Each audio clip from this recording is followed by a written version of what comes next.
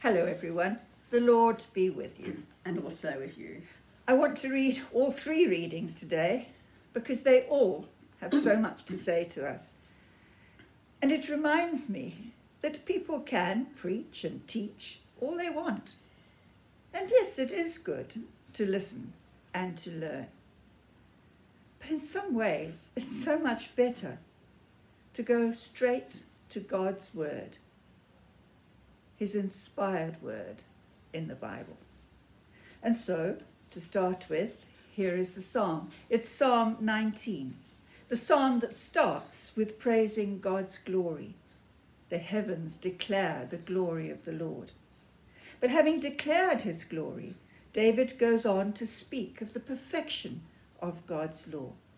And the verses that I'm going to read now, verses 7 to 11, show how this law nurtures and sustains us. The law of the Lord is perfect, reviving the soul. The statutes of the Lord are trustworthy, making wise the simple. The precepts of the Lord are right, giving joy to the heart. The commands of the Lord are radiant, giving light to the eyes. The fear of the Lord is pure, enduring forever. The ordinances of the Lord are sure and altogether righteous. They are much more precious than gold, than much pure gold. They are sweeter than honey, than honey from the comb. By them is your servant warned. In keeping them, there is great reward. Glory to the Father, and to the Son, and to the Holy Spirit, as it was in the beginning, is now, and will be forever. Amen. The New Testament reading is from James, it's chapter 3, and I'm going to read verses 13 to 18. Who is wise and understanding among you? Let him show it by his good life, by deeds done in the humility that comes from wisdom. But if you harbour bitter envy and selfish ambition in your hearts, do not boast about it or deny the truth. Such wisdom does not come down from heaven, but is earthly, unspiritual, of the devil. For where you have envy and selfish ambition, there you found, find disorder and every evil practice. But the wisdom that comes from heaven is first of all pure, then peace loving, considerate, submissive, full of mercy and good fruit, impartial and sincere. Peacemakers who sow in peace raise a harvest of righteousness. This is the word of the Lord. Thanks be to God. Now, that reading from James continues the idea of the perfection of God's law. And this time it's about how we live it out. If we live by earthly standards, pursuing worldly status and ambition, it will lead to envy and selfishness. The wisdom that comes from living humbly according to God's law leads to that nurture and sustenance that the psalm spoke about good fruit. And now the gospel reading. This teaches us how important it is to live close to Jesus, that in fact we do take God's law into our hearts. And so listen to the good news proclaimed in Mark's Gospel, chapter 9, reading verses 14 to 29. Glory to Our Saviour.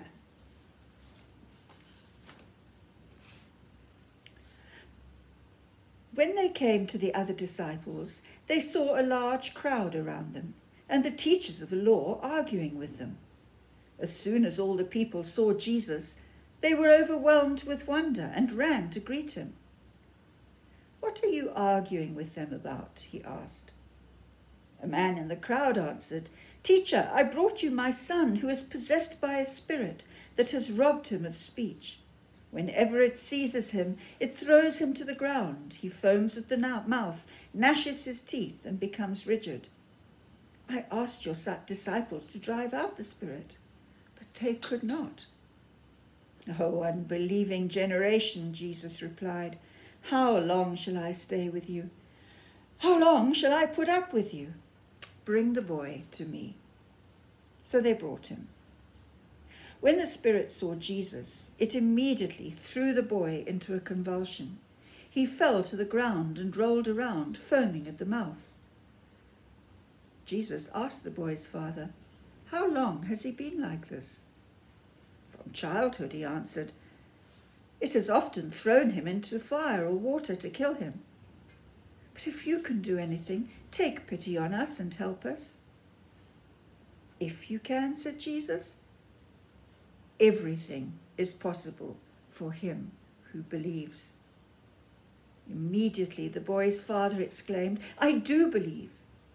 Help me overcome my unbelief. When Jesus saw that a crowd was running to the scene, he rebuked the evil spirit. You deaf and mute spirit, he said, I command you, come out of him and never enter him again. The spirit shrieked, convulsed him violently, and came out. The boy looked so much like a corpse that many said, He's dead. But Jesus took him by the hand and lifted him to his feet, and he stood up. After Jesus had gone indoors, his disciples asked him privately, Why couldn't we drive it out? He replied, This kind can come out only by prayer. This is the gospel of Christ. Praise to Christ our Lord. It seems that the basic problem here for the disciples is that they are trying to do things in their own strength.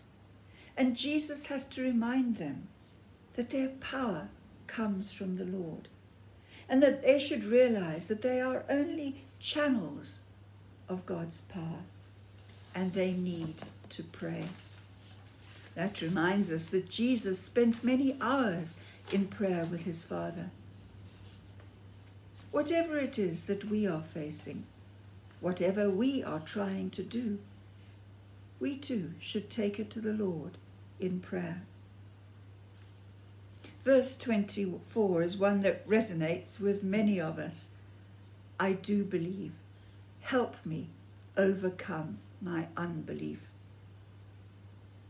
And Jesus healed the boy. He meets us where we are. But the closer we live to him, the more time we spend with him in prayer, the more our faith will grow and deepen, and the more obedient to God we will become. Obedience to God is a proof of our love for Him. It demonstrates our commitment and faithfulness to Him. And obedience opens God's door of blessings on our lives. So let us pray. Heavenly Father, we come to you today in prayer. We learn from your word what you require from us, Lord, and we remember the words of your prophet Micah. And what does the Lord require of you? To act justly, and to love mercy, and to walk humbly with your God we pray that with the help of your Holy Spirit, we may have the strength to live according to your will. May we understand that your law is not legalism, but is the law of love. May we demonstrate this law in action each day in our daily lives. We pray in Jesus' name. Amen as we pray the prayer for South, Africa, we realize that if we all live according to God's law, this prayer would indeed come to fruition. And so we pray that our lives will show others your will in action, that they too may come to follow you. Amen. Lord, grant us a vision for our land, a land of justice where none shall prey on others, a land of plenty where poverty shall cease to fester, a land of work where all can be employed, a land of openness where all are accepted as equal, a land of healing where hatred and racial prejudice exist no more, a land of peace which is free of violence, and bring this vision to fruition for Jesus Christ's sake. Amen. Let us pray together the Lord's Prayer. Our Father in heaven, hallowed be your name.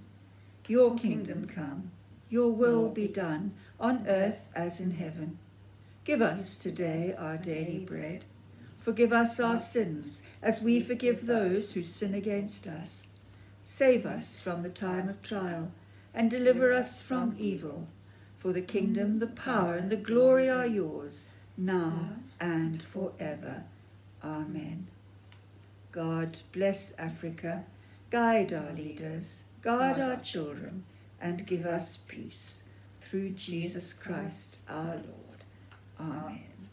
And the peace of God, which passes all understanding, keep your hearts and minds in the knowledge and love of God and of his Son, Jesus Christ our Lord. And the blessing of God Almighty, the Father, the Son, and the Holy Spirit be with you, all whom you love and for whom you pray, now and always. Amen. So go in peace to love and serve the Lord. In the name of Christ. Amen. Hallelujah. Hallelujah. Love to you all. Keep yourselves safe, and I'll see you again soon. Goodbye.